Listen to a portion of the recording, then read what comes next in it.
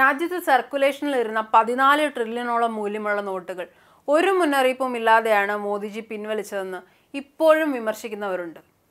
അവരെയെല്ലാം ഞെട്ടിച്ചുകൊണ്ടാണ് ജിയുടെ പുതിയ പ്രഖ്യാപനം വന്നത്. വരുന്ന ഞായറാഴ്ച തന്റെ സോഷ്യൽ മീഡിയ അക്കൗണ്ടുകളെല്ലാം പിൻവലിക്കുമെന്നായിരുന്നു ഒരാഴ്ച മുൻപേ തന്നെ നമുക്ക് തന്ന ആ സുപ്രധാന മുന്നറിയിപ്പ്. രാജ്യം ഞെട്ടി. ഇനി എങ്ങനെ നമ്മൾ പച്ചരി വാങ്ങുമെന്ന് ആളുകൾ പരസ്പരം ചോദിച്ചു. കേട്ടവർ കേട്ടവർ ട്വിറ്ററിന് മുന്നിൽ ക്യൂ നിന്ന് മോദിജിയുടെ ട്വീറ്റുകൾ ശേഖരിക്കാൻ തുടങ്ങി. രാത്രി ട്രേഡിംഗ് ഉണ്ടായിരുന്നെങ്കിൽ സെൻസെക്സ് കൂപ്പുകുത്തിയേനെ കൂപ്പുകുത്തുന്നത് കൂപ്പ് കുത്തുന്നത് രാവിലത്തേക്ക് മാറ്റിവെച്ച് മാർക്കറ്റ് കട്ട വെയിറ്റിംഗ് മോഡിലായി. രാഹുൽ ഈശ്വർജിയും മറ്റ് ജിമാരും നോ സാർ പോവല്ലേ സാർ എന്ന് കരച്ചിൽ തുടങ്ങി. അവർക്കും ഉണ്ടായിരിക്കുമല്ലോ പ്രധാനമന്ത്രി ട്വിറ്ററിലെങ്കിലും കാണാൻ കിട്ടണമെന്നൊരാഗ്രഹം. പഴയ പോലെ ഫോട്ടോഗ്രാഫർ മാത്രമുള്ള ഏതെങ്കിലും ഗുഹയിൽ പോയി ഒറ്റയ്ക്ക് തപസരിക്കാനോ മറ്റോ ആയിരിക്കുമോ എന്ന് രാജ്യം ഭയന്നു. ഒരുപക്ഷെ നിർമ്മലാജി അക്കൗണ്ടുകൾ വിൽപ്പനയ്ക്ക് വെച്ചതായിരിക്കുമെന്നും ചിലർ സംശയിച്ചു. എല്ലാവരും ചർച്ച തുടർന്നു. രാജ്യം കത്തുമ്പോൾ പട്ടായയിൽ വീണ വായിക്കുന്ന രാഹുൽജി പോലും രണ്ട് വാക്ക് പറഞ്ഞു. സോഷ്യൽ മീഡിയയല്ല വെറുപ്പ് ഉപേക്ഷിക്കൂ മോദിജി എന്ന്. എന്തായാലും പന്ത്രണ്ട് മണിക്കൂർ കഴിയും മുമ്പ് ലോകം കാത്തിരുന്ന ആ വാർത്ത എത്തി. മോദിജി ട്വിറ്റർ ഒന്നും ഉപേക്ഷിക്കാനോ ടിക്ടോക്കിൽ പോയി കലിപ്പനും കാന്താരിയും കളിക്കാനോ പോകുമല്ല സാർവദേശീയ വനിതാ ദിനമായ ഞായറാഴ്ച തന്റെ സോഷ്യൽ മീഡിയ അക്കൗണ്ടുകൾ സ്ത്രീകൾക്ക് വിട്ടു നൽകുകയാണ് ചെയ്യാൻ പോകുന്നതത്രേ. ഓ ഭാഗ്യം ഫ്രീ ആയി കോമഡി കാണുന്നത് കട്ടാവില്ല. രാജ്യം സാമ്പത്തിക പ്രതിസന്ധിയിലാണ്. ജനം നട്ടം തിരിയുന്നു.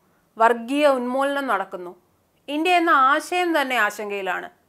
ഇതിനൊക്കെ മേലെ പ്രധാനമന്ത്രി ഇനി മുതൽ ട്വിറ്ററിൽ ബോളിവുഡ് താരങ്ങൾക്ക് ബർത്ത്ഡേ വിഷ് ചെയ്യില്ല എന്ന അവസ്ഥ കൂടി രാജ്യം താങ്ങുമായിരുന്നില്ല. അത് ചെയ്തില്ലല്ലോ. Thank you Modiji.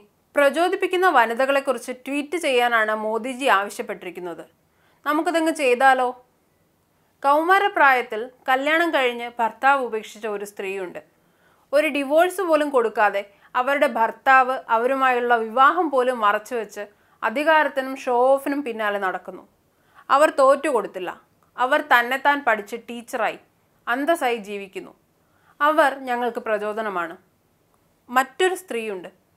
തൊണ്ണൂറ് വയസ്സ് കഴിഞ്ഞു. ഇപ്പോഴും മകൻ കഷ്ടപ്പെടുത്തുകയാണ്. വല്ലപ്പോഴും വീട്ടിൽ വന്നാൽ ശല്യമാണ്. ഫോട്ടോഗ്രാഫർമാരെയും കൊണ്ടേ വരൂ. വയസ്സനായിട്ടും അയാൾക്ക് ഈ പാവം അമ്മ ചോറ് വാരി കൊടുക്കണം. കഥ പറഞ്ഞു കൊടുക്കണം. അയാൾ പറയുന്ന വളിപ്പിനെല്ലാം ചിരിക്കുന്ന പോലെ അഭിനയിക്കണം. നോട്ട് നിരോധിച്ച സമയത്ത് ആ പാവം വൃദ്ധയെ പൊരുവെയിലത്ത് വരി നിർത്തുക പോലും ചെയ്തു. അവരും ഇപ്പോഴും അതിജീവിക്കുന്നു. ഞങ്ങൾക്ക് പ്രചോദനമായി. അങ്ങനെ എത്രയെത്ര എത്ര സ്ത്രീകൾ ഹിന്ദുത്വ തീവ്രവാദത്തെ വിമർശിച്ചതിന് സ്വന്തം ജീവൻ നൽകേണ്ടി വന്ന ഗൗരി ലങ്കേഷ് മുതൽ സംഘപരിവാറിനെ വിമർശിക്കുന്നതിന് കേട്ടാലറയ്ക്കുന്ന തെറി എന്നും സോഷ്യൽ മീഡിയയിൽ കേൾക്കുന്ന ആയിരക്കണക്കിന് സ്ത്രീകൾ വരെയായി. അവരെല്ലാം ഞങ്ങളെ പ്രചോദിപ്പിക്കുന്നുണ്ട് മോദിജി. അവർക്ക് വിട്ടുകൊടുക്കുമോ അങ്ങയുടെ സോഷ്യൽ മീഡിയ അക്കൗണ്ടുകൾ? രാഹുൽജി ഇതൊക്കെ കണ്ട് കലിപ്പിലാണ്. സോഷ്യൽ മീഡിയയിൽ കോമാളി കളിച്ച് ഇന്ത്യയുടെ സമയം പാഴാക്കാതെ പണിയെടുക്കൂ എന്നാണ് രാഹുൽജിക്ക് പറയാനുള്ളത്. അല്ലെങ്കിലും രാഹുൽജി അങ്ങനെയാണ്. ആവശ്യമുള്ള സമയത്തൊന്നും രാജ്യത്ത് കാണില്ലെങ്കിലും പഞ്ച് ഡയലോഗേ പറയൂ. രാഹുൽജിയെ കണ്ട് പഠിച്ച് പഞ്ച് ഡയലോഗ് പറയാൻ പോയതാണ് രമേശ് ചെന്നിത്തല ജി ഇന്ന് നിയമസഭയിൽ. മന്ത്രി എം എം മണിയോട് ചോദ്യം ചോദിക്കുന്നതിന് മുമ്പ് എം എൽ എമാർ വൈദ്യുതി വകുപ്പിനെ അഭിനന്ദിക്കുന്നതാണ് സന്ദർഭം. L D F M L എമാർക്ക് മന്ത്രിയെ പുകഴ്ത്താൻ വിപ്പ് നൽകിയിട്ടുണ്ടോ എന്നായിരുന്നു ചെന്നിത്തല ജിയുടെ തഗ് ലൈഫ് ഡയലോഗ്. പറഞ്ഞത് പക്ഷേ മണിയാശാനെ കുറിച്ചാണ് ആശാനുണ്ടോ വിടുന്നു? അസൂയ പാടില്ല പ്രതിപക്ഷ നേതാവേ എന്നാണ് ആശാന് പറയാനുള്ളത്. സത്യം സത്യമായി കാണണം. നല്ലത് കണ്ടാൽ ആളുകൾ അഭിനന്ദിക്കും.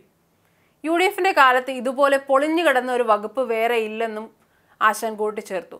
എന്നിട്ട് ആ തഗ് ലൈഫ് കണ്ണട ഇങ്ങ് ഊരി വാങ്ങിച്ചു. അടുത്ത ഊഴം എം കെ മുനീറിനായിരുന്നു. സഭയിൽ മുനീറിന്റെ പഞ്ച് ഡയലോഗ് ഇങ്ങനെയായിരുന്നു. സർ ഞാൻ ഒരു നിമിഷം ആലോചിച്ച് നോക്കിയത് ഞാനിത് നിയമസഭയിലാണോ നിൽക്കുന്നത് അതോ എ കെ ജി സെന്ററിലാണോ നിൽക്കുന്നത്? സെ എ കെ ജി സെന്ററിൽ നിങ്ങൾ കാണിക്കുന്ന ആ ഒരു തിട്ടൂരം കൊടുക്കലുണ്ടല്ലോ. അത് ഈ പ്രതിപക്ഷത്തോട് നിയമസഭയിൽ ജനാധിപത്യത്തിൽ തെരഞ്ഞെടുത്ത് വന്നിട്ടുള്ളവരോട് കാണിച്ചാൽ അത് കയ്യും കെട്ടി നോക്കി നിൽക്കുമെന്ന് ബഹുമാനപ്പെട്ട സ്പീക്കറും കരുതരുത് എന്നുള്ളതാണ് ഞങ്ങൾക്ക് പറയാനുള്ളത്. മറുപടി പറഞ്ഞത് സി എം ആണ്. ലീഗൽ ഹൗസ് അല്ല A K G centre. Legal ഹൗസിന്റെ അനുഭവം വെച്ചുകൊണ്ട് എ കെ ജി സെന്റർ അങ്ങനെയാണെന്ന് ധരിച്ചുകൊണ്ട് വർത്തമാനം പറയരുത്. ഇവർക്കൊക്കെ വല്ല കാര്യവും ഉണ്ടായിരുന്നോ? ആളും തരവും നോക്കി വേണ്ടേ പഞ്ച് പഞ്ചാൻ പോവാൻ? ഇനി ഏതായാലും ഇച്ചിരി വെള്ളമൊക്കെ കുടിക്കും. ക്ഷീണം കാണും. ഇപ്പോഴാവുമ്പോൾ കേരള സർക്കാർ വില കുറച്ച് തന്ന പതിമൂന്ന് രൂപയുടെ വെള്ളവുമുണ്ട്. അതൊക്കെ കുടിച്ചിട്ടാവാം ഇനി അടുത്ത പഞ്ചിനിറങ്ങുന്നത്.